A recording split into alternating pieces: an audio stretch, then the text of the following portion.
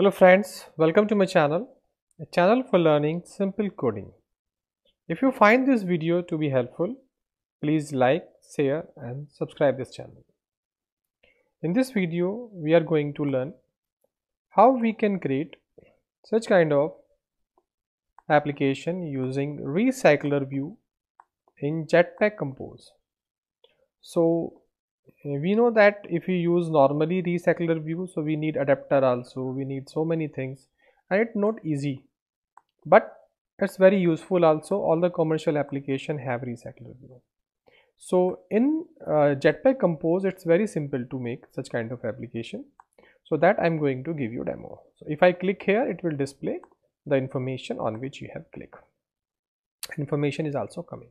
So how you how you can make this application that we are going to learn in more video, we will fetch this data from the JSON library from internet using retrofit and volley also. But in this video, I am going to cover only how you can display the static data because in retrofit and volley also we fetch data from the internet. But first of all, we fetch data and then we display that data. So you can suppose that this data is coming from the retrofit and now we are displaying. So half part we are doing here and next we will do in next video about retrofit and volley so here i created a data class here with of image id and image description. And i create array also two array one for image from the drawable folder and one for the description of the images. And i create the mutable list of data which have all the information of this data class in in form of array. So now I with the help of for loop I just add this uh, information. Uh, we say all information in the array. So image description dot size minus 1 like this. And here I just add uh, data dot add. And here I pass first parameter uh, data dot add here I pass the parameter as a class. And in this class the first parameter is the image id so, uh, I say image id image id uh, dot you can say get. And here I say i. And next parameter is image description dot get and i so we have added the all these value in data class and we create the array of this. You can see we create the list of it. Now uh, i pass this data here mutable data all the list here. Now i have to change this to data and mutable list and here i pass data class like this. Now I need to create one more uh, function that will draw a card. Uh, you see that in this application we have a card. So we want to design only one card and all other card will come automatically. So what I do here, uh, I create a compose function. I say composable function and here I define a function. Uh, I say here that this function is uh, uh, can row. One row we one row we want to design so we say one row information. And here i pass the data means one in one uh, one data uh, class object from this we want to pass here. Now here what i do uh, because we are design designing a row so first of all uh, I need here uh, row uh, row data type uh, row uh, layout. So under this row layout I will design uh, image. I will add image and description. So first of all I take modifier. And in this modifier I say maximum width we want to take. And uh, later on I will see more also. In in this row uh, what I want to take I take here image. So I say image first of all and in a painter I say paint. Uh, paint resources and I say data dot image id here. And in this description I say uh, data dot image description like this. So image is inserted but I will add some more thing also in this image. First of all now now I take text also. And in text uh, sorry in description I have to uh, write here uh, you can say image. Static here in text I want to uh, display uh, text equal to and I say data uh, dot image description like this. Now I just import this. And so I add this uh, painter uh, image ID then image and description. Now I add some more information here. That uh, I want modifier equal to modifier max here I don't want to give max width. I want to give here as a modifier the padding. Modifier and I set uh, the padding. And padding I say uh, I need padding of 5 dp like this. So uh, I say here dot clip and I say rounded corner shape and I say corner size. And here I say uh, almost 10 dot dp we want to make it clip. We want to cut from the four, four side this image. So we have the clip also we have padding also and uh, now we we take text also. So text we say font weight and we say font weight dot bold and we say font size. And here I say uh, 30 dot uh, 20 30 dot dp SP size in SP so size is here. So we import this one. Size is also here now you see that we have designed this. And now I want to create a card. So I say here that I want to add a card. And in this card I want to add this row. Single row would be in card. And under this card I take modifier also. That would be of max width max width and then under this uh, uh, modifier I take card I have a shape. And in shape I say rounded corner and corner size. That would be 10 dp so I want to mold or want to cut the four corner of the card. And I want elevation also. So I say uh, that is a part of uh, this one so I say then elevation and I say elevation of 2 dp so like this we design a card also.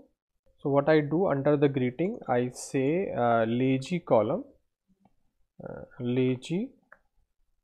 column and in this lazy column I want to add uh, this uh, item items and here I say list and I pass here data and then under this I take data to this way and here I have data one by one and I'm passing this data in one row one row I'm passing here data.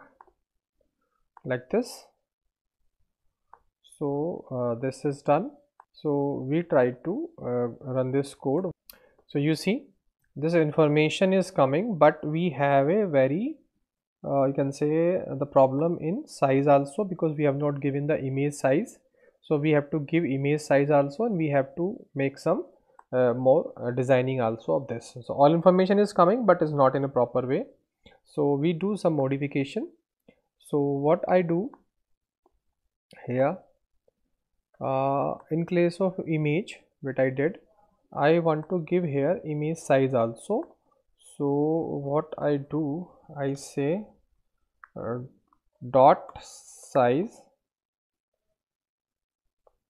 And uh, this is the padding. And here I try to give size of image and I say it would be 150 dot dp so that would be the size here. Uh, now image size is there image we have this also. In font we have. And font we want to uh, set into the you can say uh, uh in the alignment. So what I do I say here that modifier and in place of proper width I say uh, modifier dot uh, align modifier dot uh, we can say fill max width and then we say uh, align. And here I pass alignment dot uh, center vertically. So that is also done.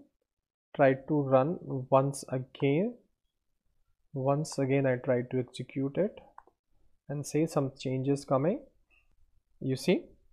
Now uh, something is uh, coming here and automatically we have this but we are not looking at this here.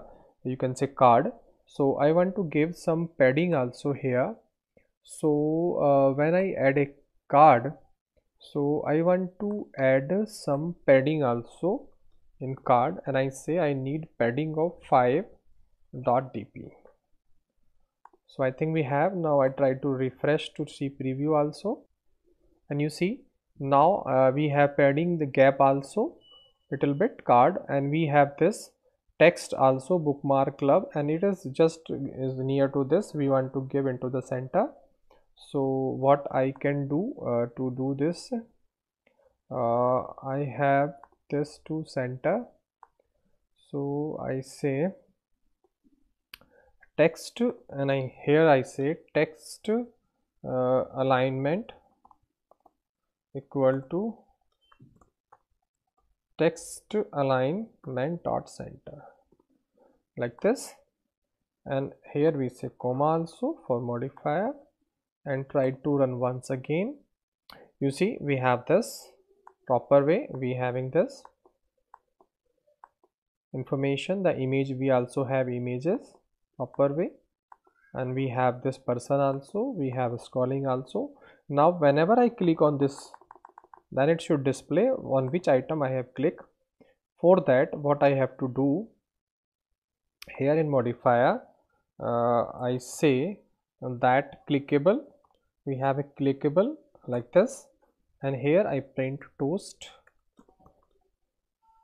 toast dot make text application context and here I pass you clicked on and I pass here uh, data dot image description.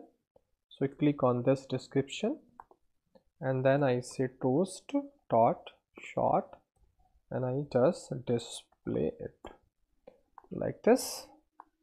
Clickable we have done this and uh, we do this also we have this error also. Why we have this error? We have extra bracket. Okay now we've done this. So once again I try to execute it. So if I will click on this text then it will display toast information that you click on this particular text coming. I click on this display. You click on bookmark. You click on book cup. You click on flag. So all information is coming. And you see uh, it's a it's a just a few line of code. If you compare this with the normal android application and with jetpack compose library so we have just a simple declaration and adding this information in a list. And just few line of code. I have this code. And we have this designing layout and with the help of this lazy column this lazy column is responsible to add these information one by one you see from this item. One by one we are reading the information from this data. One one row is coming here and we are passing a data to the row and automatically the card is generating. Because from the one row compose function we have generated one card. We created a one card and one by one this loop creating number of card those are available in this data. So as i have here the nine images here so all nine images coming. But when we use the json library or retrofit and volley we will data fetch data from the json from the internet. Then we will have data here in this list from the internet. And one by one we will add so automatically this row will created as per our requirement. That we will see also in next videos. But here the purpose was to create a recycler type of information by using lazy column in jetpack compose. So i think you have learned that how you can create a recycler view by using jetpack compose. And uh, if you really like anything from this video please like share and subscribe this channel. And thank you for watching this video Thank you.